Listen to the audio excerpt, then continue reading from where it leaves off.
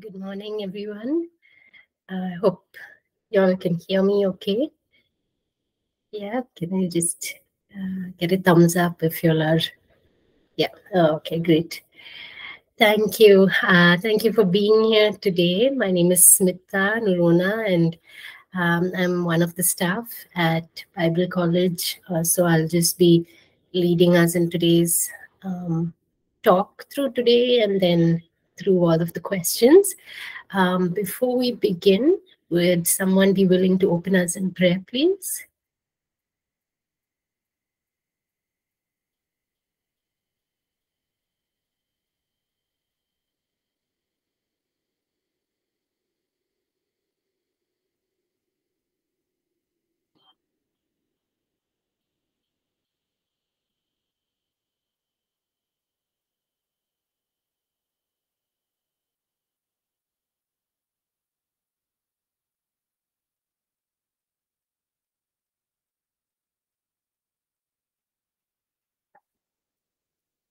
Okay, maybe I'll call on somebody. Sorry. Um, um, Anand, would you be willing to open us in prayer, please? If you're able to unmute. Okay, Jeffina's raised her hands. Okay, thank you. Jeffina, you can go ahead. Let's pray. Dear Heavenly Father, we come to you under the name of Jesus. We thank you for this day. We thank you for the time of mentoring hour that you have given us, Lord. As we gather together as students, help us to uh, learn a little more about you. We ask you to open our spiritual minds and our spiritual ears and eyes to listen to you. And in the end, we give you all the glory and all honor, Jesus. In Jesus' name I pray. Amen. Amen. Thank you. So uh, I think last week uh, there was one question that um, that was asked uh, that didn't get answered. So we'll first just look at that question and then uh, continue with today's session. Um, the question was, how do you build your patience as a leader, especially when the people that you are leading are not listening or cooperating? Um, so I'll just share uh, my thoughts, and then uh, if anyone on uh, staff, any of our faculty want to add, uh, please feel free to do so. So the question is, how do you build your patience as a leader, especially when the people that you are leading are not listening or cooperating? Um, so yeah, the since a leader, one of the main things is to be able to get other people to work together with you on whatever the goal is. Uh, one important thing is to uh, understand what is it that's keeping people from um, from being supportive or from being cooperative. Are they uh, lacking the vision for what you are doing, or um, are they in some reason for some reason not happy about something? Uh, so understanding what it is that is um, that is keeping them from getting on board with what you are working on, and the best way to do that is to, of, of course, meet with those people, address it with them directly, uh, and talk to them about what is it that they are finding uh, challenging, or what is it that they are not uh, what they what is it that they have not understood about what is expected of them. Um, so understanding uh, what the issue is, and then once you understand it, then taking the steps to address it. So if it is a lack of understanding of what is required of them, then to help explain, to give them the direction, the motivation, or the instruction, or or even maybe the learning that they need to be able to do what they need to do. Um, but uh, if it is something where they're not happy with something that you are doing then look for ways if uh, if there is something that you can change about what you're doing in the way you're leading uh, to look at ways to do that to change uh, the way you're leading in that situation. Um, but on the other hand if it's just an unwillingness to work with you then uh, to give them the freedom to leave that assignment or leave that project uh, because you can't lead people who are unwilling to be part of the team. Uh, and so to allow people who, in that case, to uh, step out of the whatever the project is that you all are working on is also a good thing. Um, so those are my thoughts. I hope that answers your question. I think Rin had asked this question. Um, any is anyone on staff would you like to add to that?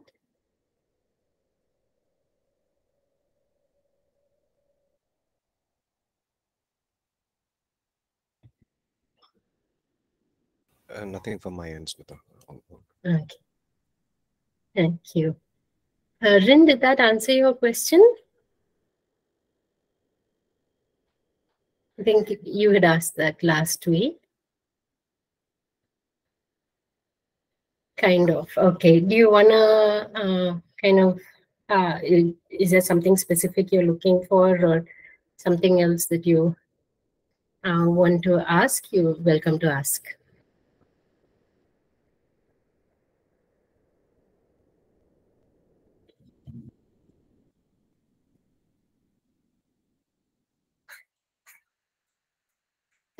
Oh, okay, sure.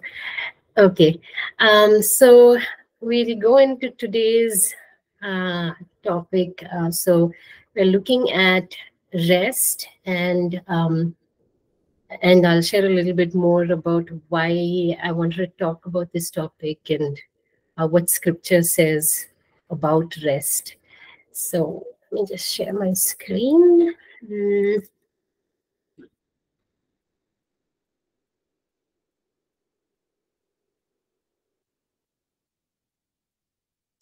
Okay, so uh, why we're talking about rest? So I think um, it's it's a topic that has definitely come up um, in more recent years.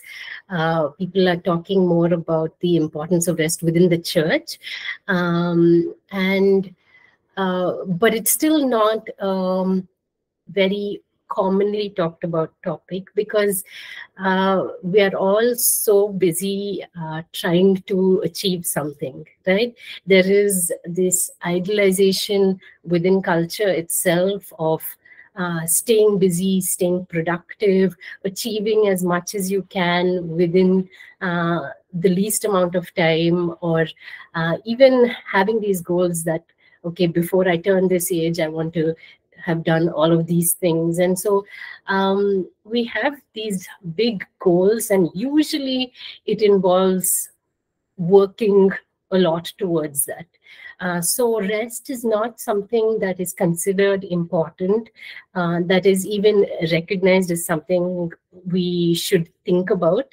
Um, and, um, and because of that, uh, we see that uh, there are a lot of consequences of a lack of rest uh, that have affected us without us recognizing it as um, as a church or even uh, as people in general in society. Um, we hear about so much uh, sickness, so many young people having heart attacks, uh, even seemingly healthy people, right? People who are going to the gym, who are in the gym and they have a heart attack while they're working out. So, um, so just recognizing that um, that even though we might be doing all of the uh, what is considered as healthy, eating healthy, exercising, all of those things, uh, thinking about how much rest are we giving ourselves overall, and um, are we allowing ourselves to be physically, emotionally, spiritually healthy,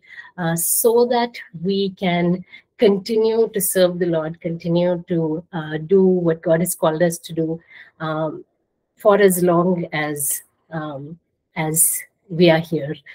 Uh, so just a few uh, things uh, that have been found from a lack of rest. Um, a lack of rest can result in a compromise of our health and a compromise in our quality of work. Uh, so the longer we are working, the heavier our workloads are. Uh, that adds a significant amount of stress to our bodies. Um, so uh, there was a study done, this is in the US, and 36% uh, of workers uh, talked about experiencing chronic work stress. So that means they are constantly under stress. It's not a day or a month or a week, um, but constantly experiencing work stress leading to anxiety, insomnia, uh, muscle aches, increased blood pressure, weakened immunity, um, and uh, that kind of stress can also further lead to heart disease, diabetes, depression. So um, that that lack of sleep or the one the thing of constantly working um, can lead to a small thing of say not sleeping enough. And then from not sleeping enough to uh, to having body aches from there going to heart disease. So it kind of piles on and adds on and um, uh, snowballs into something that is a lot bigger than what it started with. Um, also when people are exhausted it affects their uh, relationships with people. It's more likely that when someone is tired uh, that they miss misread or misunderstand other people's intentions. They are quicker to uh, be offended. They are quicker to project negative motives on other people and uh, and then respond negatively to others because they think that people are against them for some reason. So um, that also comes from a lack of rest uh, from being overtired. Um, and then uh, finally also the spiritual implications of a lack of rest. Um, we see that god created both work and rest so both of those things are a blessing from god um, but when we don't take the time to rest, we uh, we don't take the time to be with God because resting uh, resting is about uh, just enjoying being who God has created us to be and being with God in that time of rest. Uh, and so when we don't uh, learn to have that rhythm of work and rest, we often are not giving that kind of time to enjoy God and enjoy His presence uh, in a way that rest will allow us to. Um, so, with that, we look at what Scripture says about rest. Uh, so, rest began right in the Garden of Eden, um, right after God created. So, we read in Genesis 1 31 to 2 3. God saw everything that He had made, and indeed it was very good. So the evening and the morning were the sixth day. Thus the heavens and the earth and all the host of them were finished. And on the seventh day, God ended his work which he had done, and he rested on the seventh day from all his work which he had done. Then God blessed the seventh day and sanctified it, because in it he rested from all his work which God had created and made. Um, so we see here God resting. Um, does anyone think that God was tired and needed the rest? No, right? He he didn't need physical rest. He didn't uh, need to take a break. He chose to do that. Uh, so it automatically puts value on rest not as something that you do just because you have to oh, I'm physically tired, so I have to rest, or I'm mentally tired, so I have to rest. Rest is something we choose to do as a part of the rhythm of life, of uh, just as I choose to wake up and work, I choose to rest uh, just as a rhythm that is healthy and good for me. Um, and in this rest, uh, God, uh, just as God blessed us with work and gave us that as something that we can contribute to, something uh, that is uniquely um, handed to us as something that is a responsibility for us to carry out. Rest is something that we take on just to rest in our worth in God, to say, I am worth the rest. Uh, I'm worth uh, I'm worth this blessing of just being. I don't have to always do something to be worthy of uh, worthy of respect, worthy of uh, people's um, whatever it is, people's attention, worthy of God's love. We are not seeking our worth in things we do. It's in that rest that we um, that we establish our self-worth, that we remember that our worth is not in the things that we are doing. Uh, it is in who we are and who God has made us.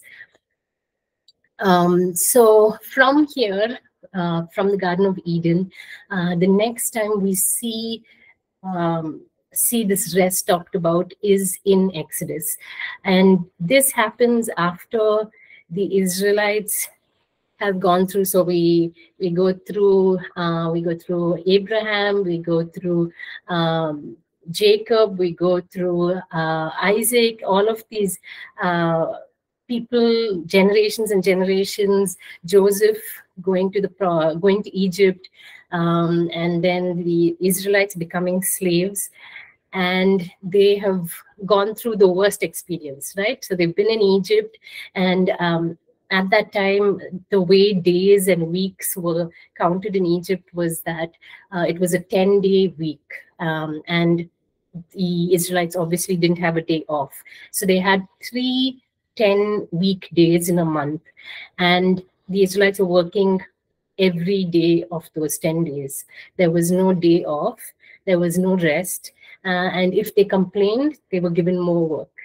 Um, so they're coming out of this situation of having physically labored uh, 10 days a week in harsh conditions. Um, and God tells them to take a day off. Okay, so that is something that's like totally outside of anything they can understand, right? Uh, what does it mean to take a day off? What does it mean to take a break, to rest?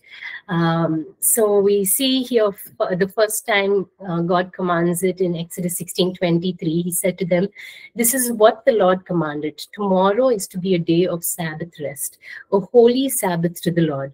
So bake what you want to bake and boil what you want to boil. Save whatever is left and keep it until morning.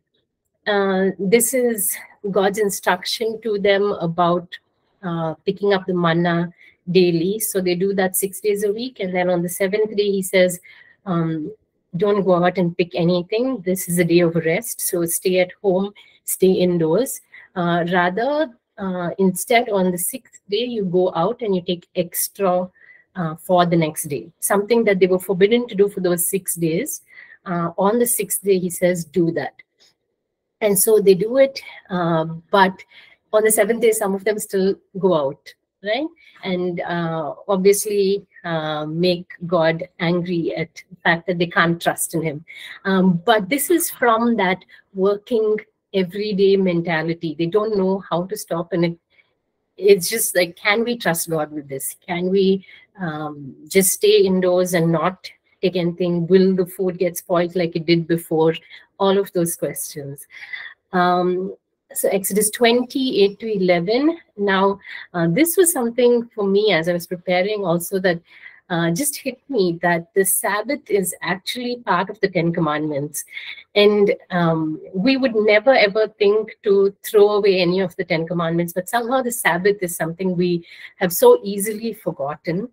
Uh, and we we kind of like never think about do we do this as as a, an individual, um, as a follower of Jesus, do I ever like think about one of these commandments, which is uh, to remember the Sabbath day? Uh, so, yeah, right in the middle of the Ten Commandments, remember the Sabbath day by keeping it holy. Six days you shall labor and do all your work, but the seventh day is a Sabbath to the Lord your God. On it you shall do you shall not do any work, neither you nor your son or daughter, nor your male or female servant, nor your animals, nor any foreigner residing in your towns. For in six days the Lord made the heavens and the earth, the sea, and all that is in them. But he rested on the seventh day. Therefore the Lord blessed the Sabbath day and made it holy. And so we see here the Sabbath is um, a day that is blessed uh, as a day of rest for us, and also as a day that is to be set apart for God, uh, a day when we are um, worshiping God through our rest. Uh, so uh, the word here also for us to take note of is remember the Sabbath day. Something that we have failed to do is to remember it. Um, and somehow God, I think, knew that uh, he needed to put that word in there because we would forget. Um, And then lastly, we'll just look at Jesus's example of resting. Um, so we see in the New Testament, Jesus did talk about the Sabbath, but oftentimes when he talked about it, he was talking to correct, um, correct, especially the Pharisees and Jewish leaders, because they had so forgotten what was the purpose of the Sabbath, and they had made it uh, something that was uh, rule based, something on which they placed their identity as Jewish people. Um, without remembering the heart of God in it. And the heart of God is uh, for mercy, for uh, for our good, right, for our benefit. Um, but that was not the way they were looking at Sabbath, and so. Um, that's what a lot of Jesus' teaching in the New Testament is on the Sabbath. But we're looking here at more how did Jesus uh, talk about rest, or how did Jesus himself rest? Um, in Mark 6 30 to 32, uh, the apostles come back uh, to Jesus and they tell him all the things that they had been doing, all the work that they had been doing after he had sent them out. Um, and his response to them is, Come aside by yourselves to a deserted place and rest a while. For there were many coming and going, and they did not even have time to eat. So they departed to a deserted place in a boat by themselves. So we see here Jesus is actually saying there are needs, there are people coming, they're not giving you a break. You need to step out of this uh, place and go away to get rest. Uh, we don't see him saying, Oh, there's so much need, don't stop working, uh, keep serving, keep uh, preaching, keep healing, keep doing all of these things. He himself is affirming that uh, the disciples need to take a break and need to get some rest. Um, and then Luke 8 22 to 23. Now it happened on a certain day that he got into a boat with his disciples and he said to them, Let us cross over to the other side of the lake. And they launched out. But as they sailed, he fell asleep and a windstorm came. So we see here Jesus himself in the middle of the storm. Like that that could have been the worst time to choose to rest but he knew what he needed to do and there was a lesson to be learned in it of course um, but choosing to rest. Whatever it may be if it's time to rest it's time to rest. Uh, and so jesus did that.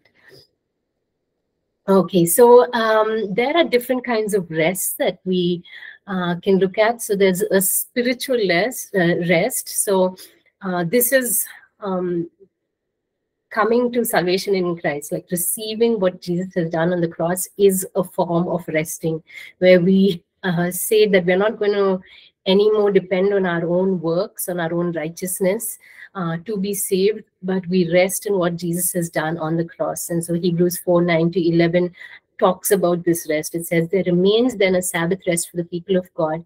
For anyone who enters God's rest also rests from their works, just as God did uh, just as God did from his. Let us therefore make every effort to enter that rest so that no one will perish by following their example of disobedience. Um, and then another example of spiritual rest is a rest uh, which is uh, a form of just um, expressing our confidence in the Lord. Isaiah 30 15. This is what the sovereign Lord, the Holy One of Israel, says. In repentance and rest is your salvation, in quietness and trust is your strength, but you would have none of it. So there is a form of spiritual rest uh, that uh, that is important. Uh, there's also emotional and mental rest. Uh, I won't read all of these passages, but um, all of these passages are talking about rest for our souls, right?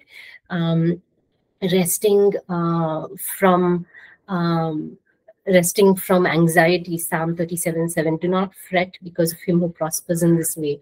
Uh, so just being able to uh, quieten ourselves to uh, to be like Psalm 23, those sheep who completely trust in their shepherd to take care of all of their needs, uh, who don't have to keep striving for something, striving for uh, to meet our daily needs or uh, striving to take care of ourselves or our families, um, but just being able to be led by the shepherd um, to rest in uh, in the blessings that He surrounded us with, uh, to just reflect on all that He's done for us and be refreshed in that. Um, so, and then uh, Jesus in Matthew 11, 28 to 30, come to me, all you who are labor and heavy laden, and I will give you rest. Uh, so, recognizing that um, our rest comes from God Himself. So, um, being able to lay down all of those burdens, whether mental, emotional, uh, that we are carrying, and being able to trust God with them. Uh, and then the last one is physical rest, so that rest of actually sleeping. Um, scripture talks a lot about sleeping, right? So Psalm 48, I will both lie down in peace and sleep. For you alone, O Lord, make me dwell in safety. Um, and then we look at Ecclesiastes 5:12. The sleep of a laboring man is sweet, whether he eats little or much, but the abundance of the rich will not permit him to sleep. Um, so yeah, this, these are just some verses I wanted us to look at. Um, some things for us to think about uh, that when we are resting, there is a holistic rest that we should look at. It's not uh, just about sleeping or just about not doing work. Uh, it is about resting our whole being uh, because there is healing that needs to happen in every part of who we are. Uh, so some key takeaways, God instituted rest. We see that right in Genesis. Uh, rest honors God. So uh, the Sabbath was give, uh, given as a day uh, to be set apart for God. It's an act of worship to God. Rest establishes our self worth. So rather than seeking self worth in our uh, work or in our accomplishments, when we rest, we say, we affirm that we are. Uh, we are worthy of everything that uh, God has given us, not because of what we do, but because of His love for us. Um, rest ensures time to refocus and establish dependence on the Lord. Rest ensures refreshing and renewal. Rest is an act of faith. Um, so, yeah, when we're tired and worn out, other parts of our uh, other areas of our life are affected. And so rest kind of ensures that we're healthy in every way, spiritually, emotionally, mentally, physically. And rest ensures longevity so that we are able to continue to serve the Lord for a long time. Uh, so some applications, uh, look for ways where you can set aside time to rest daily, weekly, and annually. So don't um, don't wait till you're exhausted after weeks and weeks of working and then just crash at the end of those weeks. Uh, instead, think ahead of time. Think about when you would like to take breaks um, in a month or in a year and plan your work accordingly. Um, but also take time daily and every week, uh, set aside time, uh, set aside a day to just rest in God's presence um, in, in a week. Pace yourself, so plan how you're going to work, uh, know how much you can do, how much you should do, and when you should stop. And uh, the last one, which I think is very, very important for us in the church, especially, is learning to say no. Uh, because um, I think we feel such a pressure uh, when we're in ministry or when we're serving in the church, uh, that everything is so important. Everything is for God. Everything is for the kingdom. And so we have to do everything that comes our way. We can't lose any opportunities. Uh, but um, to recognize that that we need the, that kind of rest, right? Like what we looked at today, and um, and if we are not there to do it, someone else will do it. It's all right. And sometimes it's okay if it doesn't get done. Uh, so just recognizing when when we need to say no and having the discipline to uh, to prioritize our rest uh, to the extent that we say no to certain things however good they might seem. So that's all i wanted to share with us today. Um, if there are any questions any thoughts you all would like to share please go ahead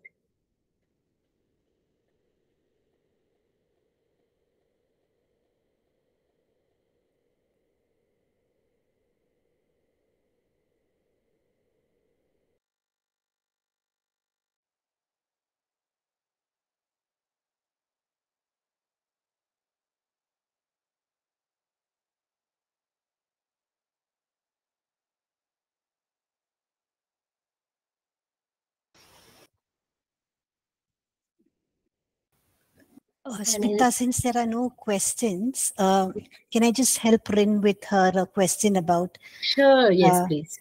Yes, Yeah. how a leader can build a patience. Yeah. Uh, so basically, um, you know, the leader should take time for uh, self-reflection, just to understand what you know triggers or what they react to uh, in terms of their own uh, the situations they face, and you know what tests their patience. So just to understand their own uh, triggers and their reactions and uh, uh, the reasons why they become impatient. So that's one thing they can do. The other thing is, um, you know, just to take time to assess whether their expectations for themselves and others are realistic. Sometimes, uh, you know, we can have a way too high expectation for ourselves and expect that of others. And when it's not met, uh, then we, the leader can get uh, uh, impatient, can get uh, frustrated. So to just see if the leader's goals are um, something that is attainable, something uh, or whether they are expect what they're expecting of others is also something that is attainable. And then if it's not just to adjust their expectations uh, so that they don't get impatient. And another thing they can do as a leader is uh, to work on improving their own communication skills uh, just to be very clear uh, about what they are expecting the work that needs to be done to provide the information that is easily understood by the team members um, and also you know uh, to delegate those tasks and uh, appropriately and also trust the team member to carry out their responsibilities in the way that they would like to do with their own skills with their own uh, uh, you know creativity and not micromanage everything uh, because when you do that then we get uh, the leader can get stressed and impatient uh, because it's not being done the way they think needs to be done and the way they want it to be done with their own creativity, their own skills, and their own understanding. So don't micromanage. Just uh, delegate the tasks, responsibilities, but ensure that what you want, the goal or the the outcome uh, uh, is clearly mentioned and uh, you know ways things can be done in different ways but the outcome can outcome can be the same. So uh, you know uh, that's very important. And also you know take time to um, cultivate a good um, uh, rapport uh, relationship with the team members. So when you are giving them feedback uh, you know it's well received. If there is no relationship that is built and you're giving a feedback then it will not be taken uh, well. And also it's important to ask your team for as a leader to ask your team for uh, uh, feedback about uh, the uh, the leader's leadership style so that you know you can uh, improve. And i think this ways uh, a leader can um, develop their own patience and uh, because you answered the second part of it i thought let me just uh, answer how a, a, leader can build uh, a patience. I hope that helped rin. Thank you smita. Thank you rin. Thank you. Yeah, thank you, Selena, for uh, addressing that that first part. Um, okay. Uh, are there any questions, or if we don't have any questions, I think we can close and everyone can get some rest. Did anyone that was a good joke that was a really good one at the beginning of the day to get some rest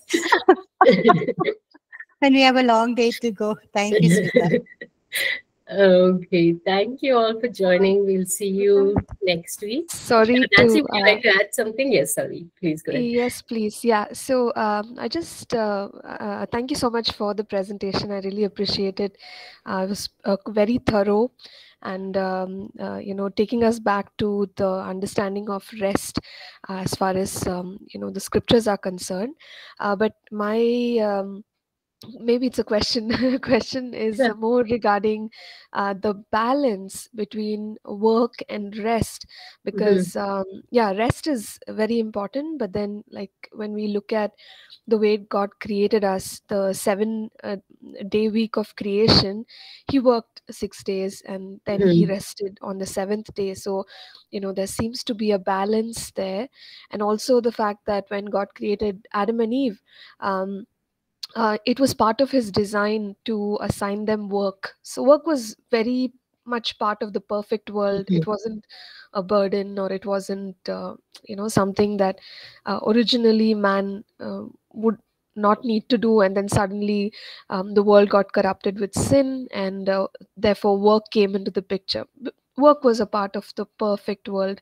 So, uh, yeah, Smita, any thoughts about or comments rather about like work and rest and the balance between Yeah. the two yeah i guess even the other faculty if there are any thoughts Yeah. kindly share thank you Thank you. Yeah, that is a good, um, a good observation. That rest came at the end of six days of work. So uh, you have to rest from doing something. If you're not resting from doing something, then you're just being lazy. So, uh, so just to um, to affirm that, yeah, God, just as God uh, had given us rest as a blessing work is also given to us as a blessing. And um, and it is so that we can uh, serve his world. We can uh, be stewards of all that god has created. Um, so learning uh, that rhythm right? Uh, we see in even in the seven day week that it was a rhythm of six days of work and one day of rest. Uh, so having that kind of mentality of i work uh, i work for a certain period of time and i do all that uh, needs to be done uh, and then i take a break. Um, i complete my work and then i take a break but then obviously sometimes your work doesn't get completed within that week or within the certain hours that you have. But having that kind of a rhythm of working and then taking a break working and then taking a break uh, so this my encouragement through this was to just remind us to take that break every um, whether it's a daily or weekly break uh, whatever it is. Um, but to of course say that we should be working hard the rest of the time. Uh, the break comes to rest um, to rejuvenate us um, at the end of those days of working. Um, so uh, the other thing is to recognize what how long so uh, that talking about pacing yourself right?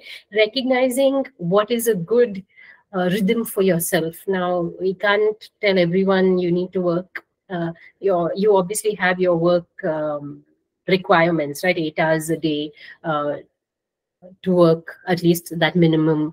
Um, but we can't tell everyone how much work they should be doing in those eight hours or you need to recognize what you are able to do what you can improve on how you can work better within the time you have um, all of those things so that you can take a break at the end of it and you're not working constantly because you're not unable to finish your work uh, so yeah tho- those are my thoughts but please if any of the other faculty would like to add to that.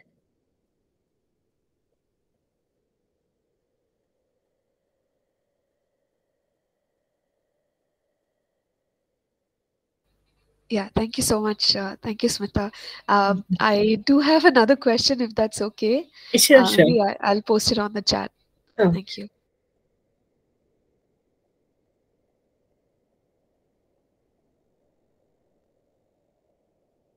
Okay. Why does it seem harder for our generation to take time off to rest? Um, I'll share uh, just a few thoughts and then um, if any of our faculty as well um, would like to share, please do.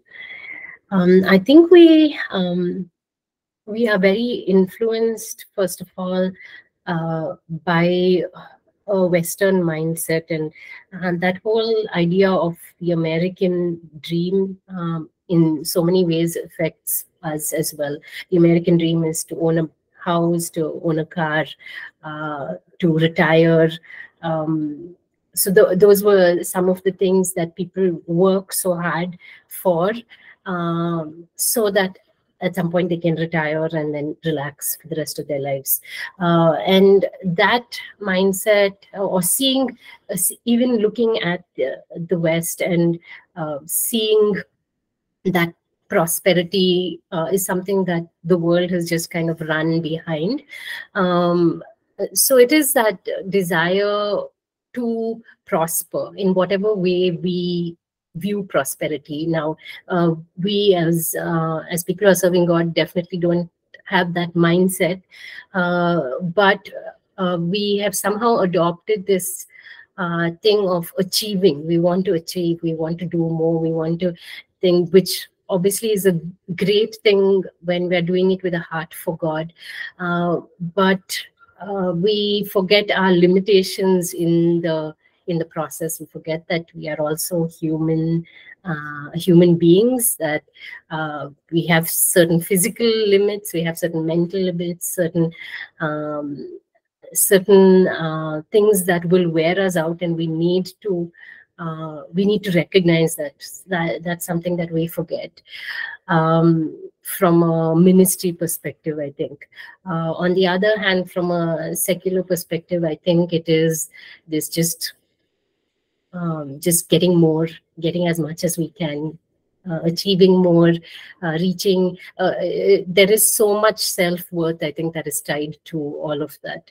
Um, on one hand, and on the other hand, it is um, the consumeristic uh, side of it, wanting more, uh, wanting more money, wanting more uh, to own more, um, wanting to earn more money, all of that. Um, yeah. But uh, would anyone else like to add something to the faculty? Yeah i just want to add uh, just a couple of thoughts um, um, Smita, thank you for that uh, for those thoughts for that study. Uh, i just feel that um, you know sometimes just ceasing from activity um, doesn't equate to rest you know because um, the reason i'm saying is like like even tied to that question which uh, nancy asked you know how, how does it seem harder for a generation? Because the thing is we are constantly bombarded with information you know whether it's social media or um, whatever it is you know we, there's always a stimulus to our minds and even if let's say we're not working we we think we are resting by you know scrolling through you know facebook or instagram. But there is that especially you know if you're going through instagram instagram reels and you know, there is a constant bombarding of uh, uh, information you know your mind is stimulated. So there's actually no rest you know. So just ceasing from physical activity or the quote unquote you know the professional work or ministry work that you're supposed to do uh, does not equal equal or even you know sometimes you say okay i'll go on a vacation and i'll rest. The, the thing is that you're carrying everything you know with you. You know like someone said um, wherever you go there you are. You know that so your mind is uh, constantly working over time and there's no like um, this businessman once he said you know i wish i could switch off my mind you know i'm sleep i'm lying down but my mind is racing i wake up my mind is racing so the thing is to come, you know, even as we cease from that activity, the thing is to come to that place of really um, resting, you know, in the true sense of the word, you know, put away anything that might, you know, stimulate, that might, you know, um, in, in the right, uh, I mean, if, if it's a stimulus in the right way, that's fine. If it's something refreshing, that's fine. But um, yeah, so so those are some things that actually prevent us from resting, truly resting, uh, I would say. Um, so uh, yeah, we really need to find that rhythm and also find what works. Uh, and it's a very individual thing. Um, another thing I want to say is also, you know, when we say take rest, it's not rest from the Lord. you know, in the sense, uh, the Bible talks about how seasons of refreshing come from the Holy Spirit. So I think a great place to rest is just be quiet in the presence of the Lord. You know, there's so much of um, you know uh, rest that comes from the fact that we are in the presence of the Lord, and who is the Prince of Peace. And so all these activities and all that's troubling just comes to a place of all the storms um, you know come to a place of ceasing and uh, you realize that in that whatever 30 minutes 40 minutes one hour you're so refreshed you're so charged. Um, so um, yeah so rest is also not taking a vacation from god uh, but really truly you know relaxing in his presence and receiving from him. Uh, yeah uh, some thoughts. Thank you. Thank you, Pastor. Yeah, thank you, Smita. Thank you, Pastor. Uh, Jaykumar. That was really helpful.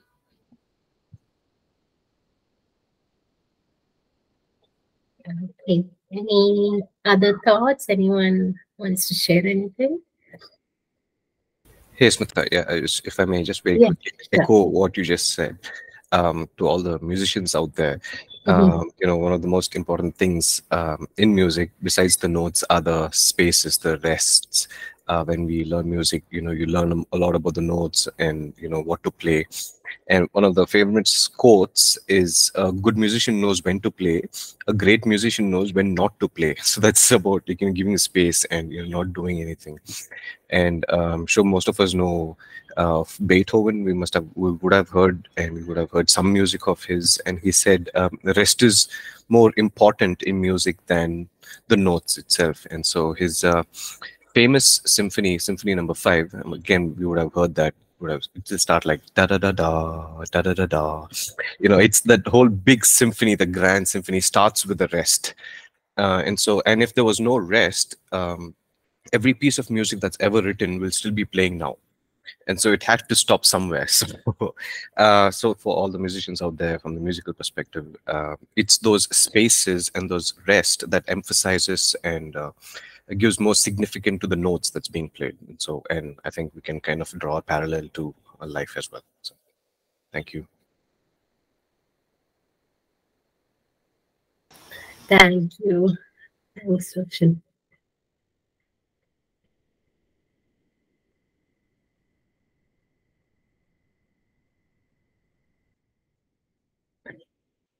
Okay, um, I think we can close. We have about three minutes uh, left.